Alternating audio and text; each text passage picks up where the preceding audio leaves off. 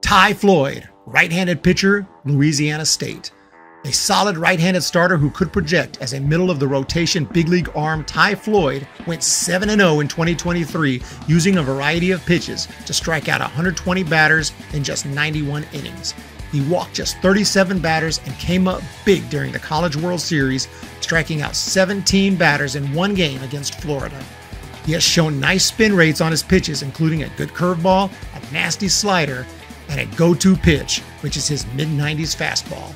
Floyd also has a low 80s changeup that he uses occasionally.